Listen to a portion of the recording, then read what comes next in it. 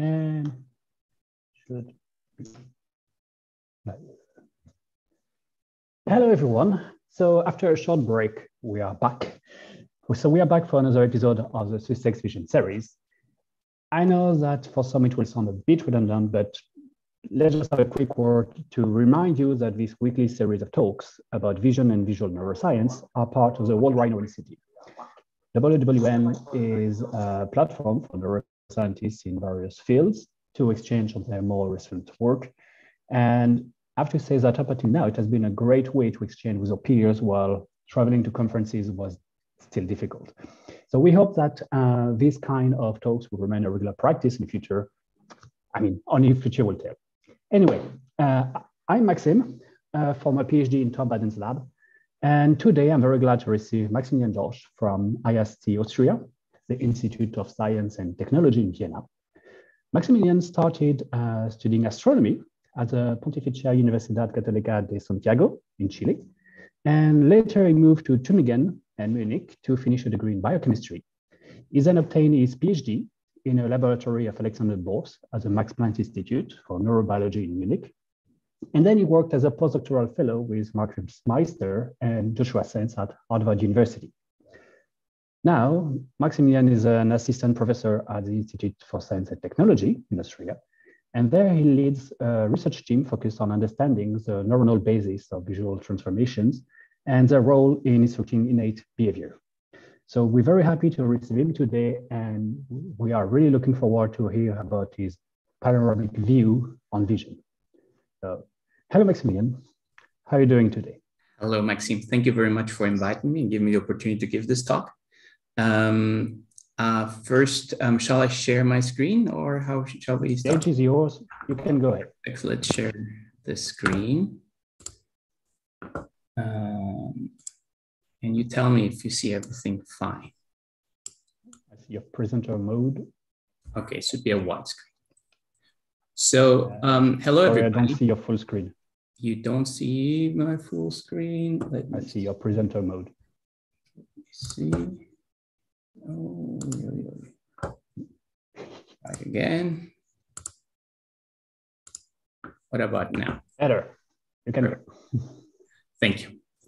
So um, hello everybody. Um, it's difficult always. I'm not used, still not used to talk to um, a non-audience, but um, I I have to start by saying a few words on something that's completely unrelated to the work we're doing in the lab, and it's because um, of what's happening on the world stage, and um, and it's I know from many people that are affected, have the families, including in my lab um, where you, the morning discussions is um, how is your family doing and they're still alive. So um, with that, I would just say that um, please support everybody who is now um, going through this hardship.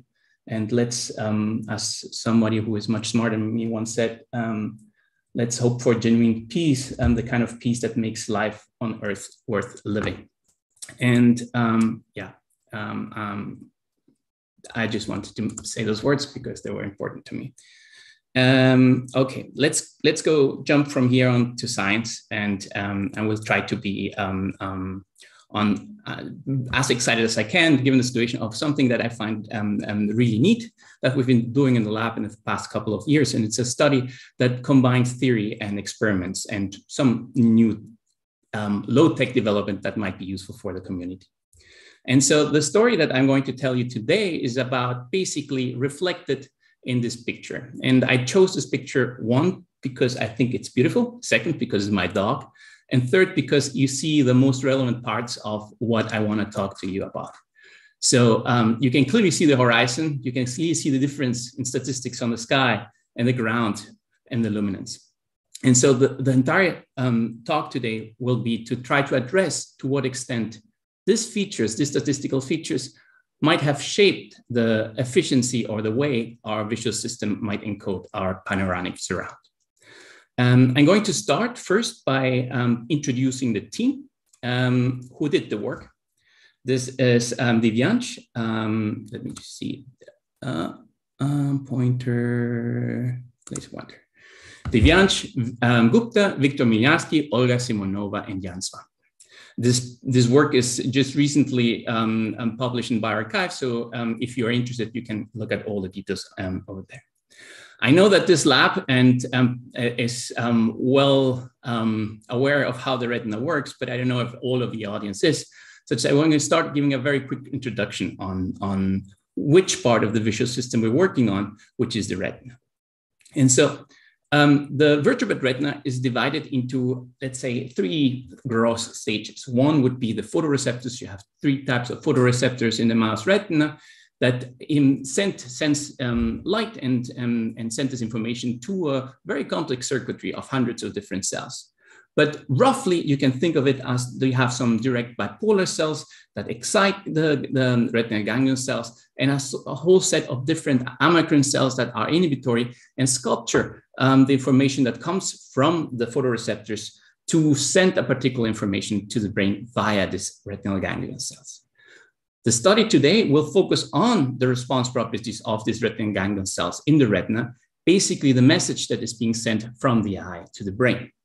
Why? Because we think this is a good relay where we can perhaps start looking at differences and adaptations to the statistics I was mentioning to you at the beginning. And so what about this retinal ganglion cells? What do we know about this? Um, well, there are a lot of different types of ganglion cells, as here very beautifully shown in the study by their morpho morphologists. And so you have like the small ones, the bigger ones with asymmetries, you have very big ones, and, and so on. Each of those can be genetically defined, has some, um, you, can, um, you can also physiologically define them by the response properties to light stimulus. For example, this would be a local edge detector. This might be more sensitive to color opponency. Others might be sensitive for motion, etc., or luminance, and whatever you, you, you think might be important to basically um, um, um, divide the visual channels into how people think of it, um, streams of information. This idea, um, in addition to the fact that each of those independently, independently tile the retina, as you can depict here in one beautiful review from Rich Masland, is that each of those, perhaps this um, small LED and LED cell, cells will basically um, have the receptive, the dendritic fields organized in such a way that um, the uniform basically sample across the, the retina space. And you have that also for the bigger ones as here let's say this would be the blue ones, and they're also basically homogeneously sampled. And the idea is that overall, um, these cells will, base, will, will send each spot position in space will send information um, to the brain, having all possible um, streams of information um, um, um, um, there to be read out. So this is one way of seeing this, this entire story. But as I was telling you before, um, there are strong asymmetries in the statistics of natural scenes. These were studied in more detail recently last year in some work from the Euler lab on from Hiroki Asari, where they tried to basically match um, um, how the mouse, and now all the work we're doing in mouse, but exactly how the mouse would perceive the, the world and how the statistic will change. And as the image that I was showing you before, what you see there is that there's a strong change in luminance if you're looking at the ground. There's a strong change of a gradient of luminance if you look up at the sky, um, as depicted over here or over there. And there is this very crisp line on, on average that you can find in, in, on the horizon. So we said, if the system should efficiently encode um, um, the natural work, perhaps it takes this into account to shape the way the retinal ganglion cells might be um, relaying information to the brain. So the question we were asking right now is how all of those channels would be modified such that um, you efficiently basically match those statistics. But um, this is kind of a challenge because I was telling you that each of those different um, um, ganglion cell types, for example, the small ones might be important for edge detectors, this one for direction selectivity, and so on but we don't know. This is basically matching some functional response properties of a particular type. So we said, is there any, let's say, a more general way of describing it? And let's go a little bit old time, how people were describing those cells. And they were describing by some aspect, which would be their center surround receptive field. What is that? What is the center surround receptive field? Well, um, you can see it over here. Um, the idea of it is that um, the center of the receptive field will be the input that it gets directly to the dendritic field, whereas the surround, which is basically um, depicted here by the, by the bigger donut, will be um, the information that these cells integrate via these amacrine inhibitory surrounds, shaping the way these cells respond. The most classical way of doing it, this would be one example of one cell. This would be an off center depicted here. If you stimulate on the dendritic field, it spikes, whereas it has a very strong um, antagonistic surround. When you have an annulus, basically only exciting it here, it will spike when it's on. A different way of describing this phenomenon would be using spatial filters. And that's what you see here. Basically, it's for the same cell. You have here the blue part, which would be blue, meaning it, it spikes when the light goes off and has a particular shape. Whereas the surround of this would be red, and that would be this um, um, um, depicting when the light goes on, will be driving the cell more strongly. And we will try to go use this feature of each of the ganglion cells that we have measured to basically ask to what extent um, they may, may match the statistics of natural scenes. And this is something that has been done previously. And um, I want, and all our work is basically inspired by this work of um, predictive coding um, done by Srinivasan, Laughlin, and Dubs. And, um, and we implemented this normative model and expanded it such that we can actually ask the questions. And I'm going to first describe um, how we did it and what it can. So perhaps a way of thinking of our work would be a, a, a refreshed view on inhibition on the retina. And to start describing this model, I want to first describe um, efficient coding theory. And efficient coding, um, as formalized um, by, by Laughlin in the 80s, um, is um, an intuitive description on how the stimulus has to match a response curve. And assuming here this particular box that you see over there, it will have a distribution of intensities. And so assuming now stimulus independent additive noise, um, an efficient way of neural coding is to maximize the stimulus response relationship that makes each of the possible responses equally likely. Basically, if you think here, if this would be the all intensity and this would be the response properties, you would like to have the sigmoidal curve so that it is efficiently um, relaying the information um, um, uh, what a sensory neuron to the brain. Um, one implementation of this um, very classical idea would be the predictive coding idea. And, ah, and as Barlow said, this perhaps this is a very nice way of putting it. This could be a, a neat pa packaging of information. It's like it's the, the, the best way of how the system should be encoding information such that um, you um, use the um, resources um, efficiently. And so um, this is basically um, the, the, the, the essence that the first step and implementation of that would be the predictive coding idea. And let's see, this would be basically the same thing I was telling you before. You have the box, you have the distribution, it, it matches the stimulus response curve. Now imagine you have a different point where, um, um, and this will elicit a different um, distribution of inputs. Um, and here the stimulus response curve is not neatly representing the stimulus distribution. Um, and what um, we would like with the predictive coding hypothesis to match is that we shift this distribution such that it matches again the, the intensity and the stimulus response curve to be more efficient. How would you implement something like this? Well, first, um, you need to know that natural scenes have spatial correlations, meaning that the statistics at nearby points in space are similar. Then you could implement it with spatial filters. Um, for example, in this, the center, um, another center surround filter, in this example, the center would encode for the luminance um, of the scene, whereas the surround will encode for subtract the prediction um, of the spatial correlation that you would um, that you would um, um, expect to, to, to, see based on natural statistics. And so um, one subtracted by the other would be basically one, the measurement subtracted by the prediction would be the predictive error. And that's what basically we would like to relay on. And one important point here is that all of that is dependent on the signal to noise ratio. So if you want to tune it, you have to shift the signal to noise ratio and it will become from one to the other such that it becomes more efficient to, to subtract. And so um, one way of formalizing this would be having um, a very simple encoding modeling, um, a model of a retinal ganglion cell. This is probably the most simple way of representing what happens in the retina. You have an image sensed by photoreceptors, you add noise, um, convolve it with a, with a spatial filter, and um, you see what is the output. And now the whole um, game that we're playing here is to optimize numerically such that um, we, we, reduce a cost function would be basically reducing the firing rate. So um, what this, I was telling you that noise is, a, is an important aspect um, of, of this and that by changing the noise, you would change the properties of the filter if you optimize. So what about noise in natural One important aspect is to know is that um, there's a, a, ton of intrinsic noise in, in, in cone photoreceptors. So at photopic levels, it seems to be that is um, three orders of magnitude higher than what you would expect from rod vision.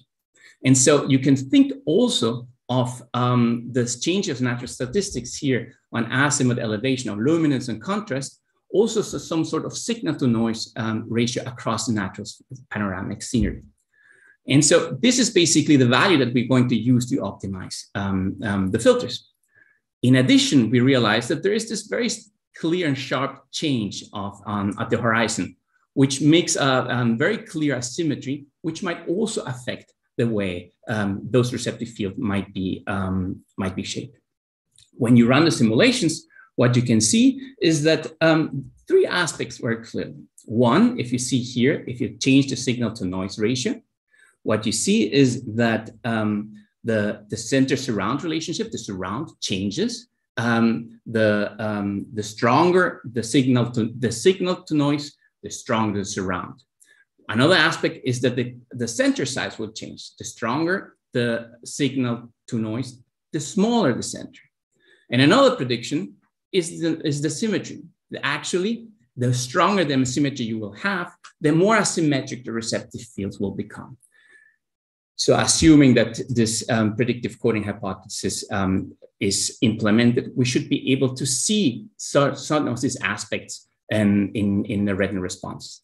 And just to summarize the same finding in, or the same hypothesis or prediction in, in, a, in, in a simpler way would be to think of it as um, the sky, the higher the, the, the, the, the higher the cells are looking like or the ventral, the most ventral cells that look at, uh, at the most um, um, um, higher point in space should have a stronger surround, whereas the surround should decrease and the centers should increase, whereas at some point in the horizon, you should see that this asymmetry.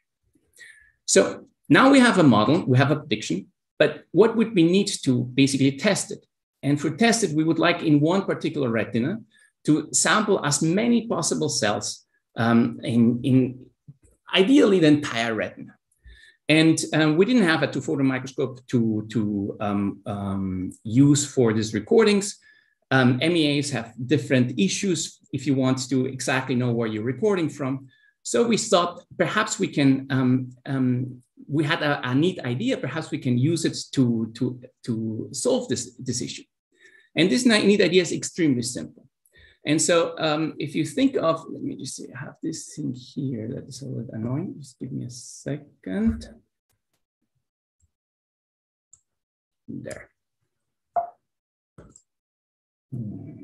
So, um, so if you if you think of what has been done before, particularly here by Tom and and, and during his postdoc, and um, a beautiful work where you can see um, uh, characterized response properties across thousands of different cells, with two photon microscope imaging and some issues on, on, on, on wrinkles and so on, there we're scanning a little position in space across a retina. And so it required different retinas to have, let's say, a overall picture.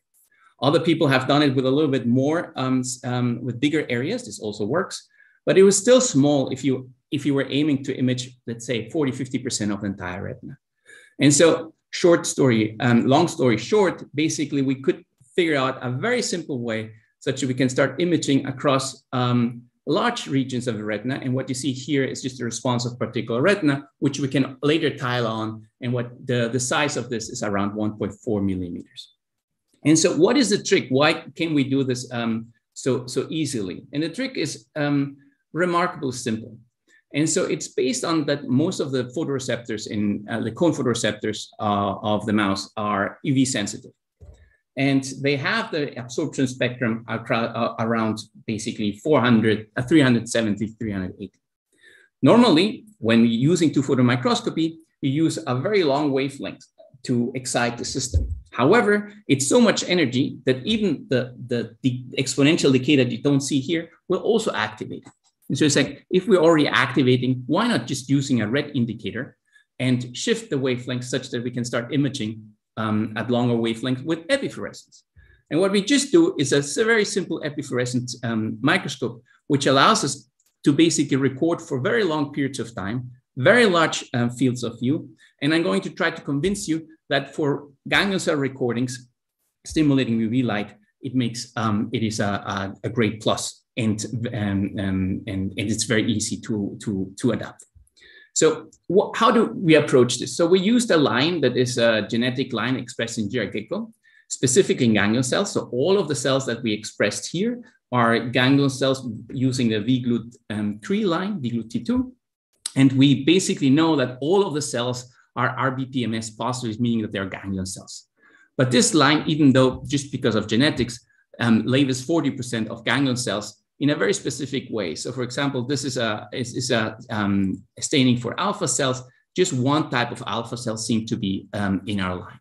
Um, and we can image those across a very big field of view. So this would be, for example, one example retina. What you see here depicted by this um, orange box would be one, one of the fields of view that I was showing you before. And we can basically tile the image here one, the other one two, the third one would be here in the middle. And then we can basically have a, a very large um, um, um, perspective on retina coating. And that's what we need because the difference that we're looking at are, are uh, spatially um, um, at a very large extent. So can we respond, look at response properties? Of course, we can basically look at single cells. We see response properties. The other interesting thing is that we can record for very, very long periods of time if you record on one field of view. So um, we have recorded up to an hour and a half, if I'm incorrectly. I mean, there's some bleaching coming up, but the responses are still there. And um, in all of that, it is roughly 20 times cheaper than a classical two photon microscope. And it spits out at least 50 times more data for retina recordings. Okay. So if you make the calculation, it's perhaps um, worth, um, worth um, trying it out. So what about response properties? Um, here's some classical response properties I've been seeing, like this is um, for, um, over here you see a direction selective cell um, um, simulated with a bar, um, bright bar. You see it's the on off responsiveness. This is basically like the alpha cells responding, disregarding the direct orientation of the stimulus. We can basically map direction selectivity and ask which are direction selectivities that we see, and we basically see the cardinal directions. But interesting, we can in one retina reproduce some very neat um, um, um, um, findings that have been done in the past. For example, um, this work by Sabbah et al., where they've been looking at how the direction selectivity is, is, is mapped. And this is just looking across the retina. And this is looking at the same data in one of the retina vital where you only we're stimulating this just to see if our, our system allows us to uh, reproduce prior results. And um, this is not a quantitative statement, but it's more a qualitative statement that um, it seems to be, if you look at the crosses here and the crosses here, that they were changing the orientation depending on where they are in the retina. So it seems to be that this uh, at least allows us to reproduce this type of data. And for chirp responses, of course, um, this is also a classical way of, of looking at um, how um, the system is um, um, representing how, how much the system representing cell types and even though we have 40% of the cells, and we believe that they're always the same 40% um, and genetically defined ones, we can very easily um, classify them um, based on, on these response properties only. So we have on, off, transient, on transient. We have suppressed, suppressed by contrast. And even we see some of the some of the responses that we haven't been able to match with prior um, um, results um, that have been published. One thing that is a beauty error here, if you like to compare, and we realize after the fact, um, normally people use the this um, the frequency chirp first and then the, the intensity one, such this is basically inverted. Okay, so I, I, hope that I can convince you that at least for, for the classical response properties, we can match um, with this very simple approach, um, redefine or reconstruct, uh, um, not reconstruct, um, um, um, Um, um, um, reproduce pre previous results. But we're not interested here in studying chirp responses or direction selectivity per se. We're interested in looking at receptive fields. And by looking at receptive fields, we also need to have a good assessment of the center response and the surround, which is tricky in a way that is parameterizable. And so what normally people do is basically use white noise stimulus to, um, to basically reconstruct those receptive fields. The issue with white noise stimulus is that if you have big checker, you don't have very good um, um, spatial resolution, but you have a very strong response.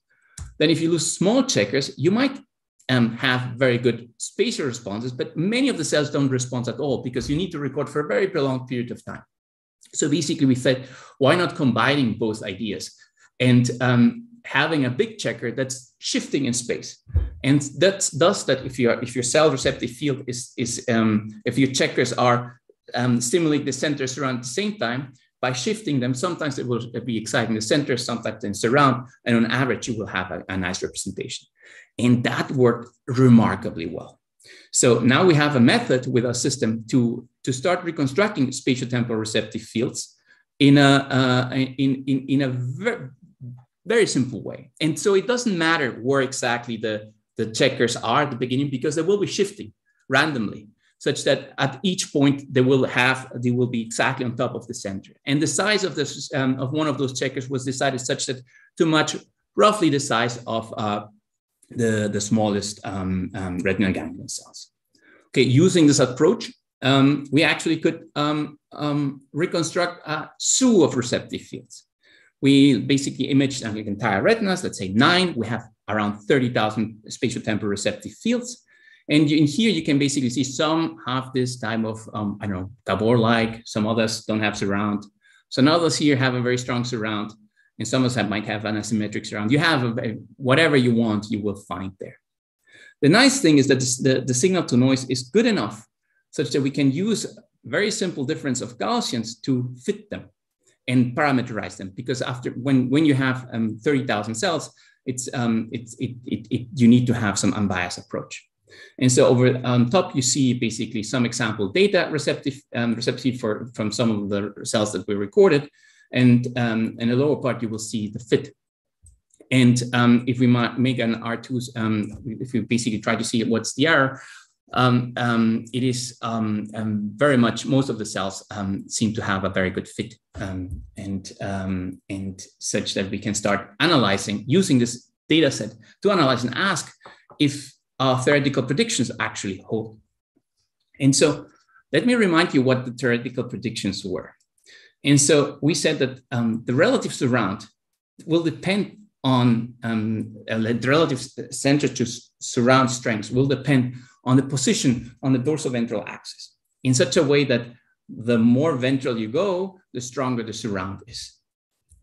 Um, and then we, the other prediction would be that the center strength will be diminished. So the, the more ventral you go, the, the smaller the, the sizes of the center will be.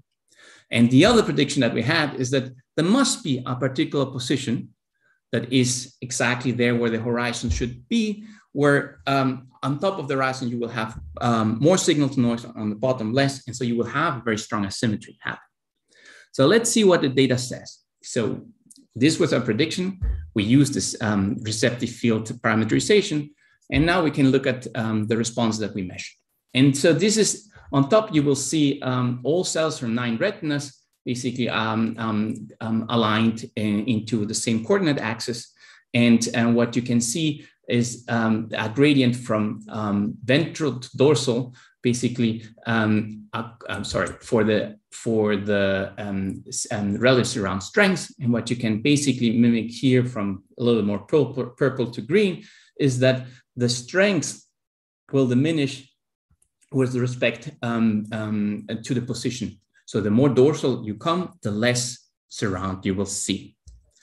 Um, the sizes also for all cells here start to be bigger the, the more dorsal you become you come in this dorsal ventral axis. And when you ask for the surround, how strongly asymmetric the surround is, you will see a very, very clear stripe at this position. If this would be the optic nerve, these are the cells that we, we recorded, um, you will see a very strong um, asymmetric streak. And this is, if you plot this in the um, not dorsoventral axis, but nasal um, um, in, in, in, basically on, on the horizon, you don't see any correlation. So it, beautifully, you can basically see that relationship in one single retina. And this is what we did here. We basically cluster each of the receptive fields of all cells in a particular bin and inverted the on one because we just want to see the relative change from, um, from center surround. So on off uh, spatial filters are all, um, all gr grouped here at the same, um, in the same retina. So this is a response of one retina. And what you can clearly see is that there's a strong surround cell uh, uh, in, in the upper visual field. When you go dorsally, if you perhaps you can see it, the, um, the centers get bigger. And over here, you have the streak of very strong surrounds um, that are asymmetric. When we look at this, um, we basically stained by, by the S opsin, and then we can actually see exactly where we are in the in in in in, in, the retina. And we make a little box and ask how asymmetric these cells are. You will see how how strongly the effect is oh i'm sorry. So this is exactly where the streak is. And then most and if this this would be this the, the number of cells that are basically pointing ventrally and would be here strongly asymmetric where if you go a little lower it's become less asymmetric. If you go higher in this in the cells that are in this box basically of course you, you, you might have some bias there depending on how you're sampling. But overall um, there is this, this, this, this directionality of asymmetry is gone. So if we reconstruct um, basically this streak and try to put it back into visual coordinates and ask um, all the cells that are actually very strongly asymmetric where they're positioned and where they're looking at you basically see the, the horizon as what we would have expected from before. So now we, I, I can tell you that on population of cells, we can match our predictions. So the surrounds get bigger, the, the, the, the more um, dorsal you get, the, um, the strengths of the surround, sorry, the centers go bigger, the, the more dorsal you get, the surrounds got stronger, the more ventral you get, and you have an asymmetric streak. So um, then we would like to want to ask so is it just because of, of particular neurons that are much more asymmetric? It's like a population of cells that might be appearing in, in exactly on the horizon. Or some cells that for whatever reason have um, are, are, have a very strong surround that is um, varying and that will basically um, overtake the entire um, responses and so we said okay what way could be functionally classify the cells to ask if it's across cell types or is it just um, uh, um, a property of a particular subclass. And so um, using the temporal filters that we had, we started saying, okay, perhaps we can use the central response, the central temporal response to classify cells. And we did so. And we basically classified them into 10 different types, um, which you can see here on the left. Here is time, and color code would be basically the temporal filters. And you see that there are different groups of, of responses. Some are off, some are biphasic, some are on, some are more sluggish, some are faster. And if we use those groups and ask where the receptive fields are, it seems to be that for some of them, they tile more or less. I mean, um, at least from how we sampled it. So there are not much overlap between those cell types of this particular type. And whereas by others, you have a strong overlap. And for example, number eight seems to be having many more cells. And this is something as what we would expect. But it cleans data a little bit. And we can start asking, okay, for all those um, groups, some of them might be cell types that are specific, some of them might be mixture of cell types. How would those properties change across the dorsal-ventral axis? And what you see here is basically the same thing as we saw in the entire population. Again, um, for the relative surround strengths, it becomes um, um, weaker, the dorsal will be good, the surround become bigger for, I'm sorry, the, the centers become bigger for all cells, and you have this very neat peak for most of the cells um, of the asymmetry at the horizon. So basically now I've, I've been telling you three things. First, that we have um, um, a model that has certain predictions we um, established a system to ask if these predictions hold. Um, and then we, um, we tested them in, until now, at least for, for the parameters we have used, um, we see a very clear match, positive match. So you might ask, um, what are the mechanisms that could be in, in happening to, to make this um, gradient or make these differences so apparent? And one thing that we've been thinking of, we don't know if this is true, is basically the, the, the gradient of opsins.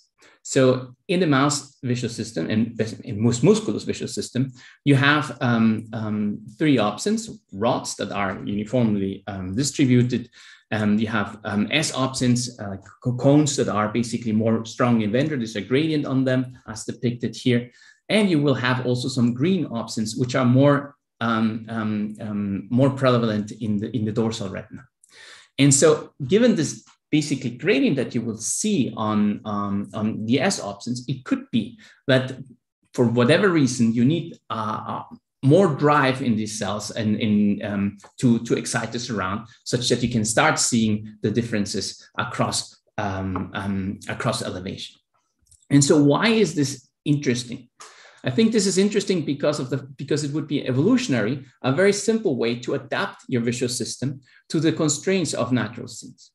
And there is evidence that something that might actually happen. And this is some old uh, work um, um, and done by, um, um, um by, by, I don't know, remember his first name, but Peichl's lab.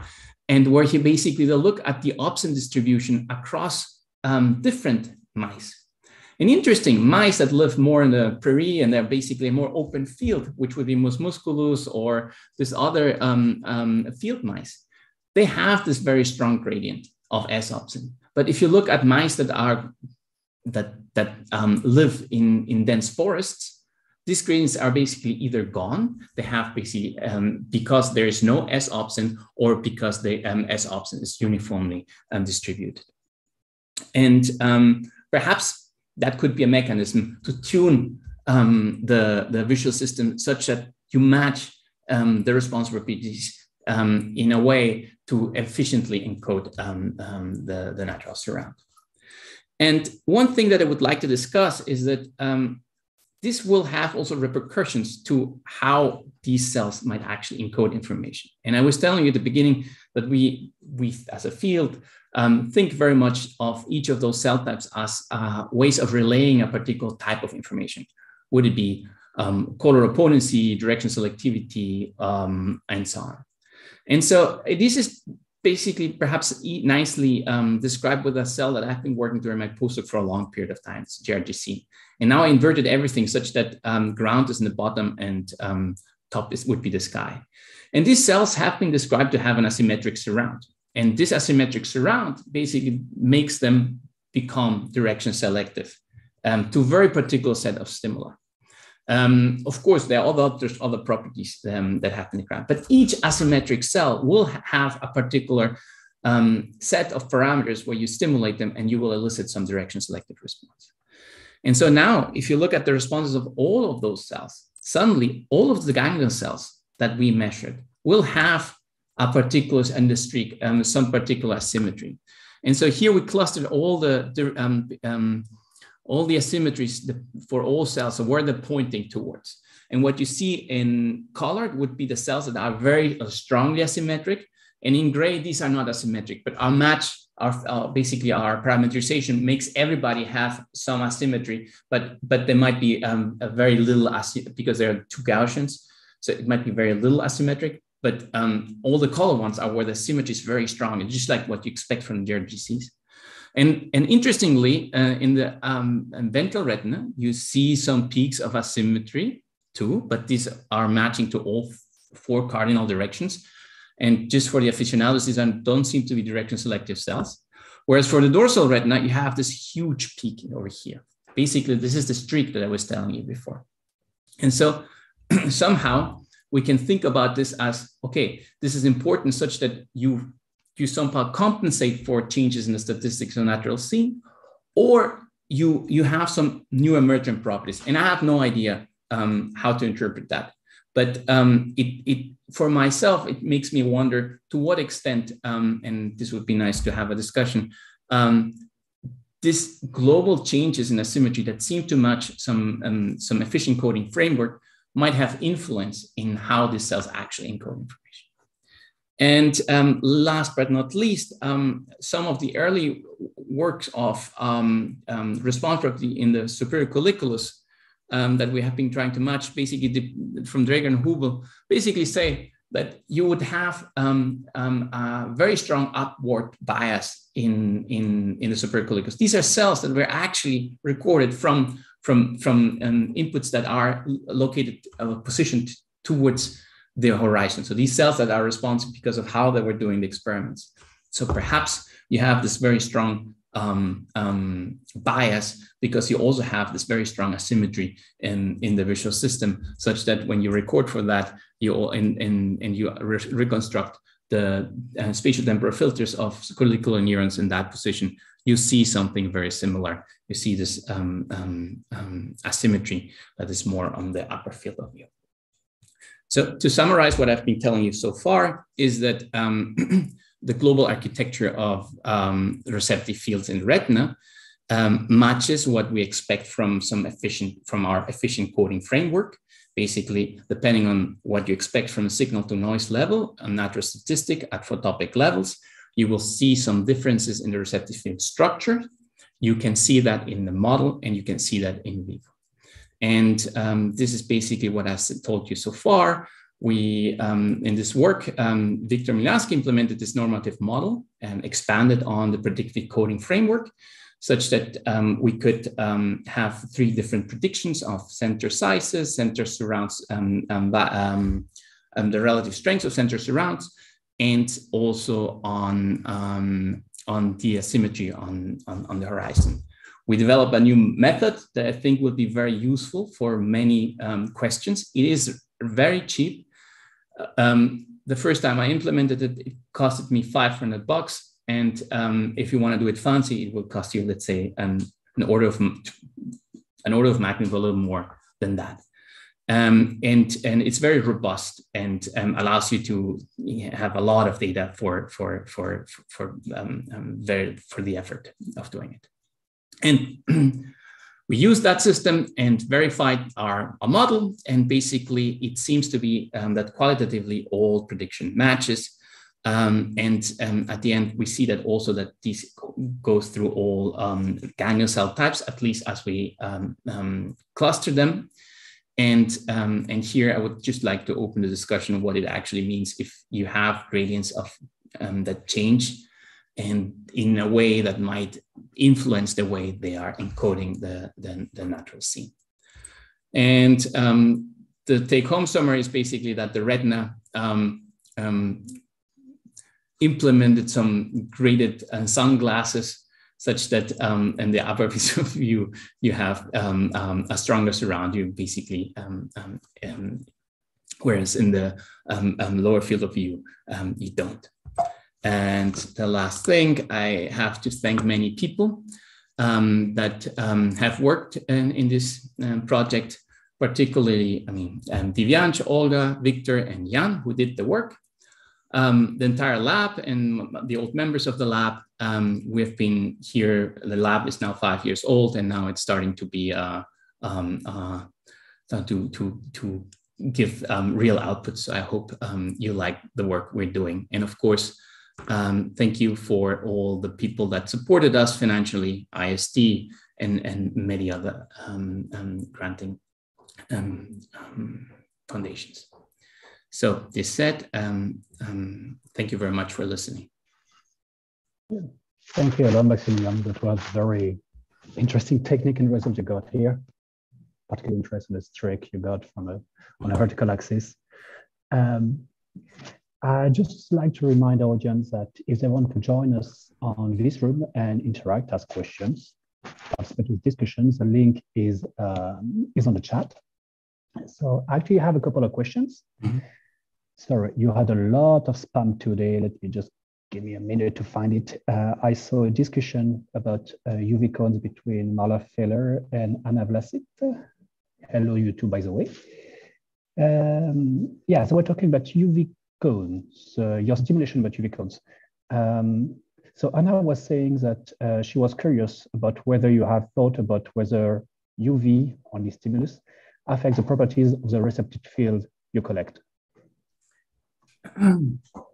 Um, if we use only UV stimulus, if it would change the properties, then if we would be using green stimulus, um, green, that's the question, I think. and so, so of course, I mean, some of, some of the properties will, will, will change. That's for clear. I mean, the best example is JRGC, where you have, let's say, a green surround and a UV center in some part of the receptive field. So um, this is not the, the ultimate truth of how the receptive field will look like, and it will change depending on the light level and, um, and spectrum that you're using. Unfortunately, we cannot um, um, use green stimulus right now. We, we, we're testing with synthetic dyes to shift it a little bit more to the red and in theory, um, we could actually see green in our calculation. The problem is that um, it's a it's a stimulus contrast issue. So uh, depending on the light that we use, the stimulus contrast is too weak, and if we increase the stimulus contrast, we have too much bleed through. Just a technicality. Um, but I think that in general, I um, the, yeah, I think that in general, no, I was uh, saying but okay. Um, Go ahead. Sorry, have it. I think that in general, um, um, the predictions that we did, we also did for the UV channel. Um, so basic, but for um, green, they would be very similar. And um, it could be that um, on, on general terms, I mean, if you think of JRGCs, their, their surround would be asymmetric and would be also positioned eventually. So this is an indication, at least some of the cells will have similar properties in the symmetry and pointing um, contrary to what you would expect and um, um, from from the distribution of cones um, and green cones, and um, and if green cones and rods would be simultaneously active, which there is evidence for that, um, perhaps it is a method where the UV will give you like a, a, an actual DC. So like green, even if, if green would be symmetric, if you only have symmetric receptor field with green stimulus, you will add the, the asymmetry that comes from the UV and perhaps that will um, um, um, make the difference. Um, I don't know if I'm, I'm explaining myself well, but um, basically, I don't know um, to what extent at this level it will change. my impression is that it will, but everything points towards that for for what we how we think about it, it might not matter much for our conclusions. Well, I think that answers a follow-up question from Anna. I mean, we have Marla and Hannah on the chat if you want to follow up on this question.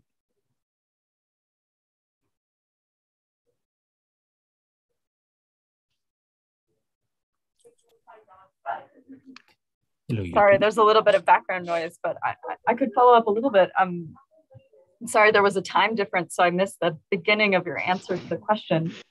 Um, but my I, I, guess I'm, I'm wondering because there, there is a lot of work showing that the receptive fields can be color specific in different regions of the mm-hmm. retina mm-hmm. and so if we're in the dorsal retina where green is the dominant uh, photoreceptor and then also you're not really stimulating the rods very strongly with the stimulus how can you say mm-hmm. that the properties of the receptive fields that you find are sort of the the overall receptive field property. Without, no, no, no, no, I'm not. I mean, I'm first. I'm, I'm, I'm. It's one of the pictures that we. So first, I don't think.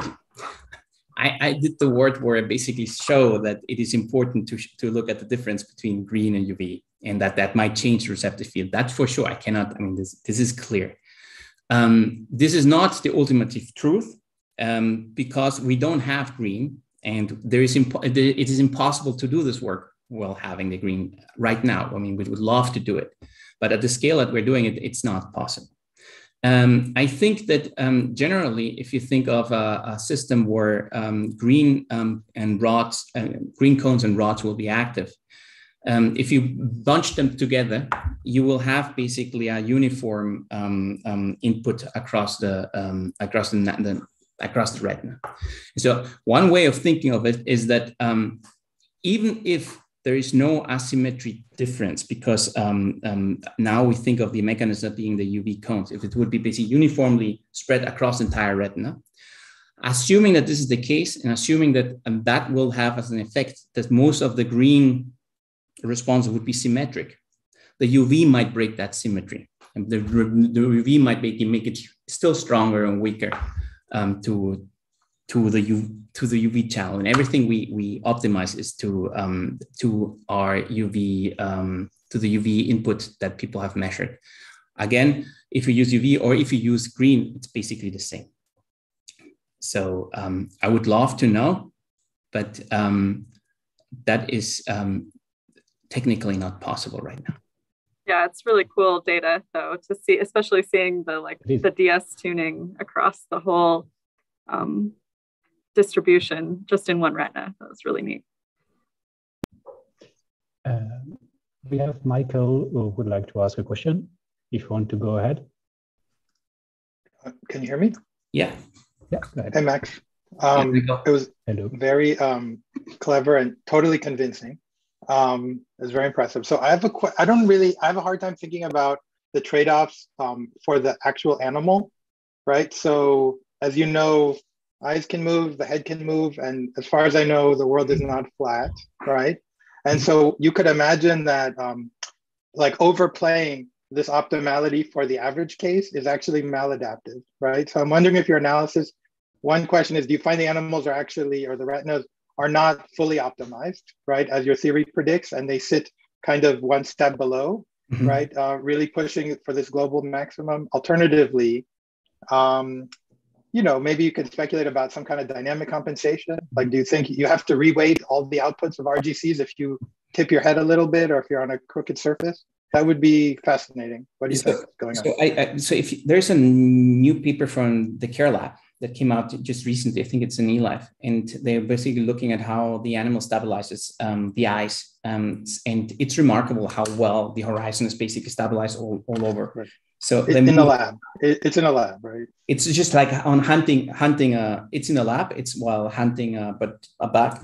But um, I think there are at least mechanisms to compensate. I don't say that um, um, eye movements are are there to compensate such the horizon stays at the same position. I don't know, but there is a lot of uh, stabilization going on there. And as far as I, I, I think, if on average the um, the the horizon is basically kept there, you don't need to um, um, have a perfect match to, to increase optimality. But this is a very difficult question to ask um, because we don't know, I, we haven't looked at when this would break. And of course, at some point it will, uh, it will not be optimal anymore. Um, um, but if the horizon stays uh, seeing what the animal does, and at least in this lab conditions with the cameras on the head, so that you can basically see what the eyes are doing, um, it seems to be that um, the movements of the eye with respect of how the animal shakes and runs around, they're, they're, they're, highly um, stabilizing them such that they are looking at basically a particular position, which would improve at least um, um, such an efficiency um, um, constraint that we are imposing. okay. Yeah. No, no, it's just it just it's it's interesting, right? Because it just means that right the you can't ignore the behavioral side of it, right? That the that the behaviors have to sort of clamp mm-hmm. right um, the visual system in a way that you can actually take advantage of all of these mm-hmm. trade-offs right yes and i mean to what extent that actually improves let's say because all efficiency arguments are energetic cost arguments and so to what extent actually the system is improving calories or something like that it's a very difficult question to ask and and then you i don't know we, we can estimate it, but I think it would be kind of like um, um, not really accurate. Okay, thanks, thanks, Mike.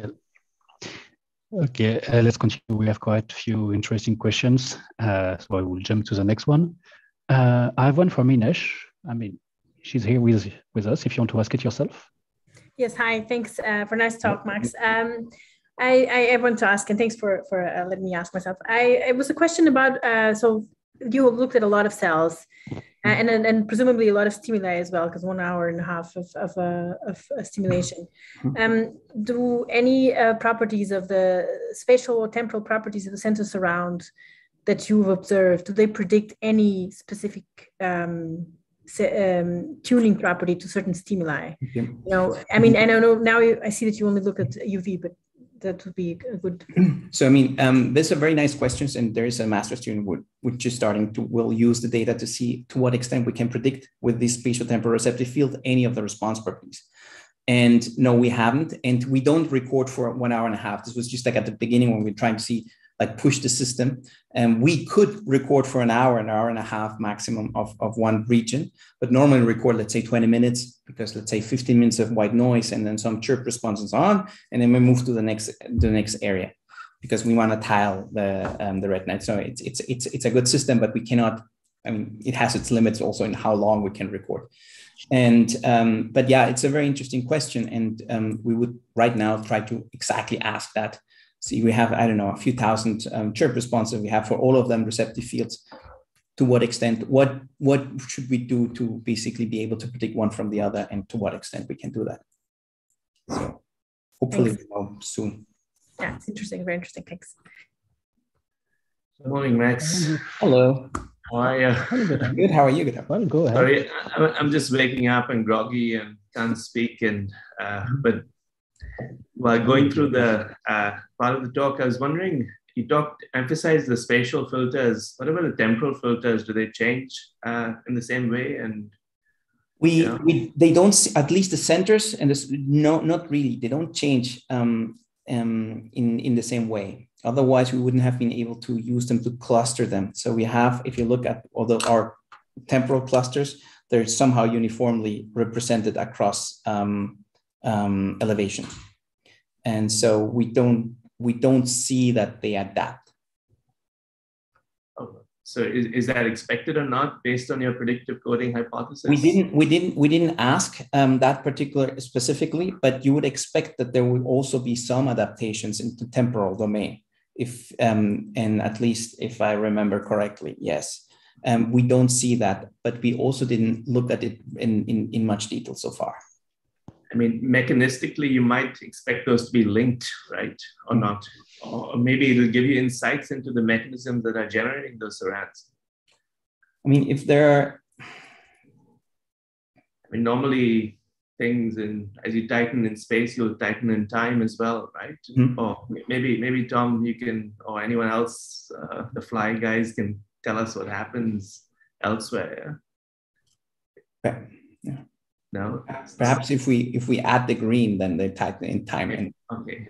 Maybe. Okay. okay. I don't have an answer. I have a question actually for retina people. Speaking of mechanisms of um, center surround receptive fields, is there a consensus um, like that actually accounts for a proper sort of circuit architecture? Right? Do, do we have good evidence that really explains how a center surround receptive field comes about? Or, I mean, I've seen the cartoons. I, I just mean, how does the data and the connectomic work and the neuroanatomy actually line up with that? I mean, I mean, yes and no. So yes, because we know horizontal cells are useful and amacrine cells are useful and it all makes sense. But what hasn't really been addressed is the fact that you're going to get layers of central surround, right? So it's kind of you're putting rings into rings into rings. And how that is a good thing or a bad thing, I don't think has been looked at much. I don't know. Are you guys going to, any thoughts on that? there. No, this is what I was alluding to with those different uh, mechanisms of surround. Some might aim the, the temporal and some might aim the spatial parts of it. And maybe you can disentangle it that way. Because to me, it's surprising otherwise that you can have uh, you know, this gradient of spatial filters and not change the temporal tuning properties. But again, so, uh, so, so one other thing is that we're looking at calcium, no? And so it could be that there is ah, some, yeah, yeah, yeah, yeah. It could that um, calcium calcium responses are not, even yeah, though yeah, we, yeah. we we have relatively fast filters, it might be that we we we won't be able to see it um, because the changes might be much bigger. Yeah, I think that's possible, but I I bet you won't see it, right? Because if you if you measure a fast slow fast process with a long pass filter, if you measure it nice enough it'll just, you know, in a, in a systematic manner go longer. that makes sense. So, you know, like we can tell apart a fast from a slow cell even at calcium quite happily, right? It's just both of them are really slow. It's just one is even slower than the other. Right, but to tell a gradient across the retina might be pretty challenging of a certain type, right? Maybe, maybe. Actually, maybe. you might see it in the chirps before you see it in the kernels. Yeah. No, but otherwise, it's an amazing technique. Huh? actually, actually um, we've been um, Wiktor have been looking at this in a very systematic way, and um, he sees um, very when he trying to cluster the chirps based on position and based on response property together, he sees suddenly um, systematic changes that you won't see if you let k-mean cluster because they're very very slight perhaps exactly that what, what we're seeing that in the ventral retina they might be a little faster have a little this component but if you average in the it's very if you don't take the spatial contribution uh, component into account it's very difficult to to, to put them together perhaps we're already seeing that So we're on tight schedule. Let's try to follow up. Uh, I was about to ask uh, Marion's question, but she just joined us. Yeah, I decided to come online as well. Max. I mean, it's related to the conversation uh, that you guys were already having. If there are other properties of uh, receptive fields that change um, across uh, space, um, especially because uh, there were so many um, receptive fields that you showed in this like zoo of receptive fields that really were in center surround, right? Mm-hmm. No, no, there, there are some that look basically um, a perfect Gabor and reproduce. It's not just one cell, so there are lots yeah. of them. And so, yes, I mean, there's there's a lot of things to unpack here, um, but um, you we do one unpacking after the other, and um, and to what extent you can use basically the entire spatial temporal receptive field somehow to to to, to define that would be perhaps the next question to ask. And, and there is a lot of things happening there. And um, it's now we're basically looking at the, the static view of the basic spatial um, filter. But of course, it's also a dynamic view, which where the surround might come in, move in one direction, the other, and um, others might be more static, where the surround's always staying in one particular space. And all that we see. And these Gabor-like receptive fields, is this something that you specifically pull out with the stimulus that you are using to map them? No, I mean you can you can see that. I mean, I, am I still presenting my? Uh, where to reshare? I have to reshare. Uh, there. Okay, let me see if I go back to this slide. So if you look over here, number two, it somehow looks like that, but with the bigger receptive fields, it's and then we look at the small receptive fields like classically, you um, you see something and it becomes much much nicer once you use the new stimulus, which works very nicely. And actually, I have to say that yesterday I saw a paper published um, um, describing completely separately to us, um, but more from a theoretical perspective, this receptive field um, method um, where they call it super resolution mapping of receptive fields. And, and basically, it really works. it also works for um, colliculus and cortex and whatever you want. Okay, cool. Thanks. Yeah, I, I, think they've also implemented this in, in time. So you kind of shift the temporal properties of the stimulus and the, measure the response, and you can get high resolution, temporal, high temporal resolution as well. Mm-hmm. So yeah. Let's see our temporal resolution. Wait, let me see. Where is it? Here.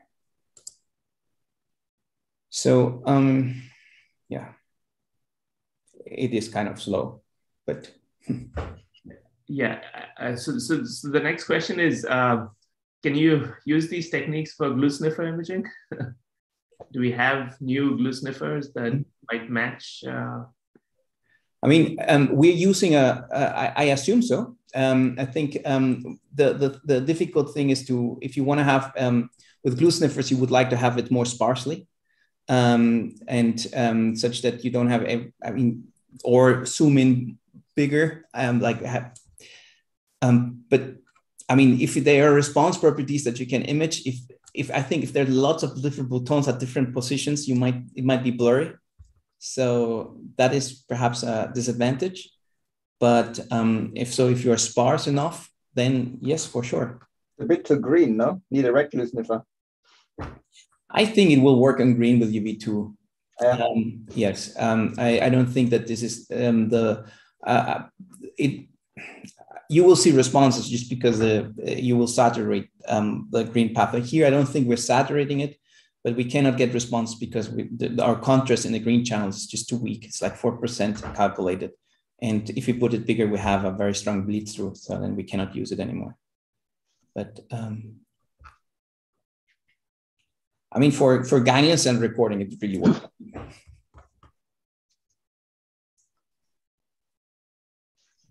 Uh, before we continue, uh, because it's been an hour already, um, I'd just like to tell our audience that is still live on YouTube that we will soon close the stream. So if you want to continue this discussion and join us, uh, you can still do so um, on the link, which is currently on the chat, if you want to come and discuss. Uh, so after this short question, I will stop the, the YouTube stream. Um, what I suggest, because there's a lot of questions that we can still discuss, but uh, Tom Baden suggested a discussion regarding spatial temporal asymmetries. Do you want to bring that? Yeah, so Gautam has, has since uh, deliberated on that. Um, but I can just steal away Lee's question, um, which was about um, well, you can you can manipulate the mouse to be less asymmetric with the with the opsin gradient at least, right? Either with genetically or by giving it some well, taking away thyroid hormone, I guess, messing with hormones. So imagine you now take your mouse, which is super asymmetric, and you force it to be symmetric developmentally. Would you expect that to give you symmetric receptive fields, or do you think that's a different property? Um, I mean, there is this albino mouse which basically have no gradient, and ideally you could basically test that by by crossing them or back crossing all of the, the lines to to. And yes, I mean that would be my prediction that um, it becomes less symmetric, and um, and um, that would be a nice way of of, of testing that hypothesis. Um, what the benefits are for a mouse I think it's very difficult to to test that behaviorally. Um, if this is the next question you might ask, I mean, if it's a um, is a mouse without a grading more um, coping better in a natural environment? Not. I mean, these these questions are very difficult to address. But um, I I would assume, at least from the physiological level, that the, the that this asymmetry might might not be there anymore.